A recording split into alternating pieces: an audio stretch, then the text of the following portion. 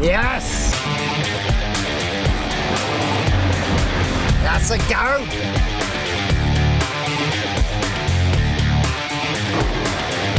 She just keeps going.